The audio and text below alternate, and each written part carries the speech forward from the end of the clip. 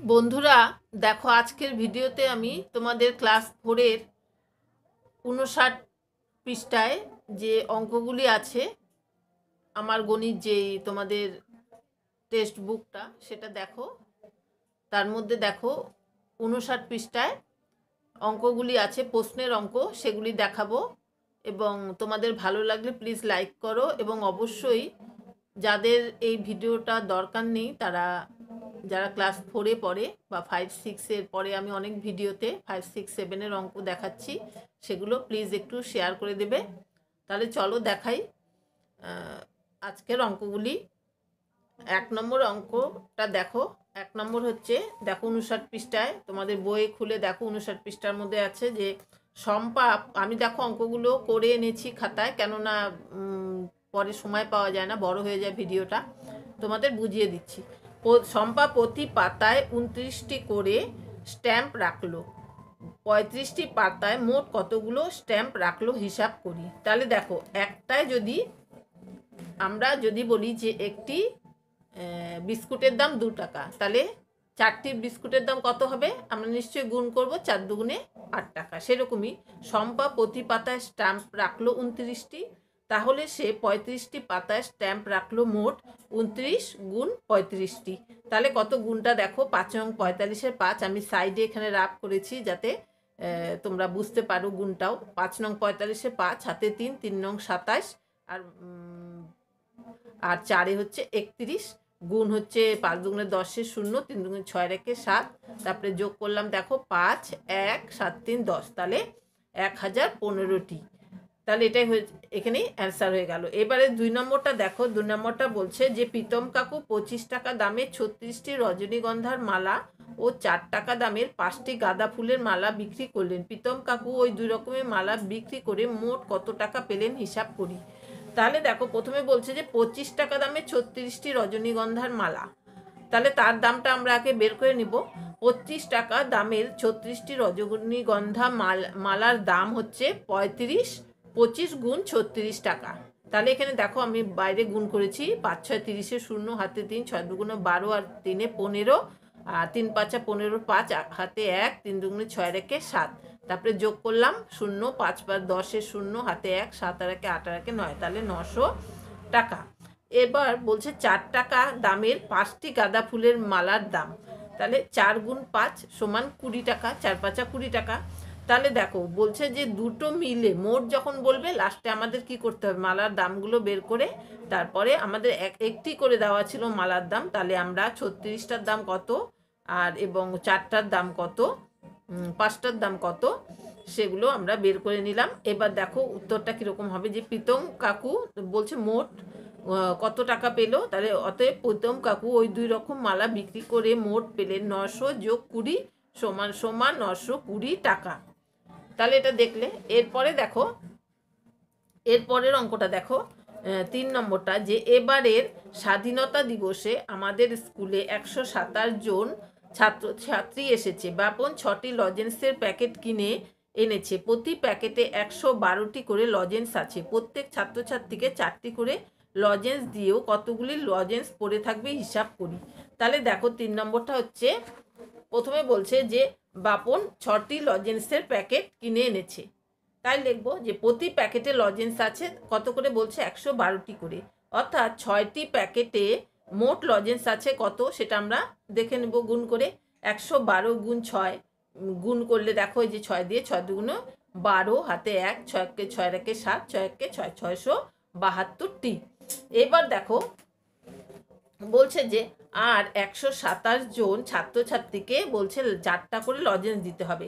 তাহলে একশো সাতাশ জন ছাত্রছাত্রীকে যদি আমরা চারটা করে লজেন্স দিই, তাহলে মোট লজেন্স কতগুলি লাগবে সেটা আগে দেখতে হবে। তাহলে একশো সাতাশ গুণ চার, অর্থাৎ পাঁচশো আটটি। দেখো, এই যে চার সাতটা আঠাশের আট, আমি তোমাদের গুণগুলো করে দেখিয়েছি তোমাদের সুবিধার জন্য। হাতে দুই, চার দুগুণ আট দুয়ে দশ হাতে এক, চারককে চার চার একে পাঁচ, পাঁচশো আটটি।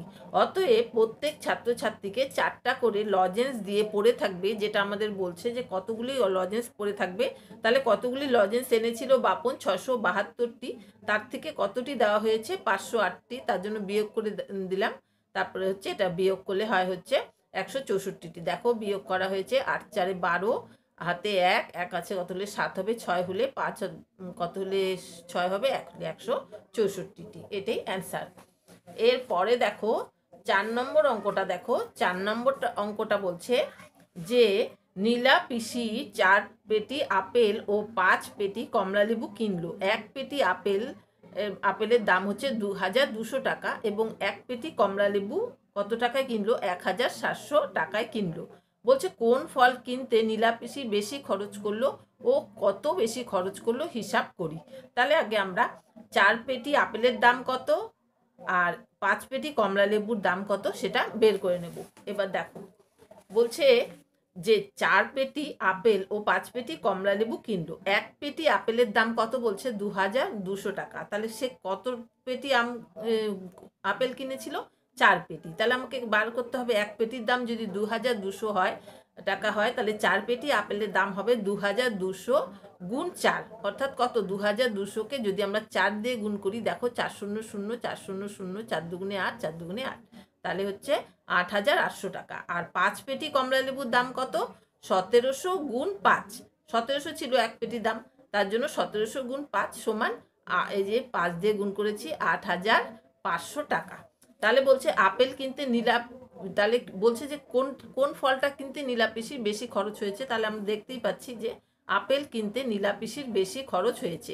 বলছে কত বেশি খরচ হয়েছে? বেশি খরচ হয়েছে আটশো আট হাজার আটশো থেকে আট হাজার পাঁচশো বিয়োগ করলে হয় হচ্ছে তিনশো টাকা, তাহলে এটাই হচ্ছে অ্যান্সার। এবার পাঁচ নম্বরটা দেখো, পাঁচ নম্বরটা বলছে যে পাঁচ নম্বরটা বলছে যে, আমতলা ফাঁড়িতে নেপ- নেপাল কাকুর ব্যাগের দোকান। একটি ব্যাগ তৈরি করতে নেপাল কাকুর তিনশো সত্তর টাকা খরচ হয়। কিন্তু একটি ব্যাগ চারশো পঞ্চাশ টাকায় বিক্রি করেন। এরকম এক ডজন ব্যাগ তৈরি করতে তার মোট কত খরচ হবে? ওই এক ডজন ব্যাগ বিক্রি করে মোট মোট কত টাকা পাবেন হিসাব করি। এক ডজন ব্যাগ বিক্রি করে তিনি কত টাকা বেশি পাবেন হিসাব করি। তাহলে অনেকগুলি কোশ্চেন আছে। এক এক করে দেখো।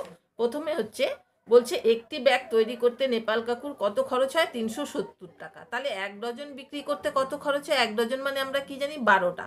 তাই তো? তাহলে তিনশো সত্তরকে যদি আমরা বারো দিয়ে গুণ করি, তাহলে হয় হচ্ছে চার হাজার চারশো চল্লিশ টাকা। ঠিক আছে? তারপরে বলছে, তিনি বিক্রি করেন। তোমরা গুণটা করে নেবে, এতগুলো গুণ দেখালাম, তোমরা নিশ্চয়ই করতে পারবে। তাহলে বলছে, একটি ব্যাগ চারশো পঞ্চাশ টাকায় সে বিক্রি আর বিক্রি করেন কত? এত টাকা তার লাগে হচ্ছে খরচ করতে। ঠিক আছে? বারোটা ব্যাগ তৈরি করতে তার খরচ হয় চার হাজার চারশো চল্লিশ টাকা। আর তিনি বিক্রি করেন কত? একটি ব্যাগ চারশো পঞ্চাশ টাকায়, তাহলে এক ডজন বিক্রি করেন কত? চারশো পঞ্চাশ গুণ বারো, অর্থাৎ কত? পাঁচ হাজার চারশো টাকায়। চারশো পঞ্চাশ দিয়ে বারোকে, বারো দিয়ে চারশো পঞ্চাশকে গুণ করে দিব। তাহলে বলছে যে কত প্রথমে যে কোশ্চেনগুলো ছিল যে তার খরচ কত হয় বারোটা করতে, এক ডজন করতে, তার খরচ হয় হচ্ছে চার হাজার চারশো চল্লিশ টাকা। আর বিক্রি করতে তার কত, সে কত টাকায় বিক্রি করেন? পাঁচ হাজার চারশো টাকায়। তাহলে বলছে যে তার কত টাকা বেশি তিনি পান? তাহলে এক ডজন ব্যাগ বিক্রি করে তিনি বেশি পাবেন কত? পাঁচ হাজার চারশো বিয়োগ চার হাজার চারশো চল্লিশ, তাহলে হচ্ছে নশো ষাট টাকা। এখানে দেখো বিয়োগটা বড় দেখে তোমাদের করে দেখিয়েছি, শূন্য, চার আছে কত হলে দশ হবে, ছয় হলে হাতে এক চার আর একে পাঁচ পাঁচ থেকে চোদ্দ অব্দি গুনবো, নয়, হাতে এক ছিল হাতে এক, চার আর একে পাঁচ পাঁচ পাঁচ মিলে গেল, বাদিকে শূন্য বসে না, তার জন্য নশো ষাট টাকা। তাহলে দেখলে তোমরা অঙ্কগুলো একটু যদি মন দিয়ে করো, আর একবারে না পারলে দু একবার দেখবে, নিশ্চয়ই পারবে। আর দেখো এই এই অঙ্কটা দেখো, ছয় নম্বর অঙ্কটা বইয়ের মধ্যে একটু বলে দিচ্ছি। দেখো, এরকম বলছে যে, আমার একটি রং পেন্সিলের বাক্সের দাম এত টাকা। যে কোনো একটা দাম নির্দিষ্ট করে দিয়েছে। আমরা যদি ধরি যে কুড়ি টাকা, এখানে লিখব কুড়ি টাকা। এরকম কত ডজন? তাহলে এক ডজনই ধরবো। তাহলে এক ডজন মানে কি? বারো। তাহলে এখানে লিখব বারো। এক, এখানে লিখব এক। এক ডজন রং পেন্সিল বাক্সের দাম কত হবে? তাহলে বারো দিয়ে গুণ করে দিব এক ডজন মানে কি? আমি এখানে এক লিখি, তাহলে এক ডজন। দুই লিখতে দুই দিয়ে গুণ করতে হবে। তাহলে হচ্ছে এক ডজনের দাম মানে বারোটার দাম।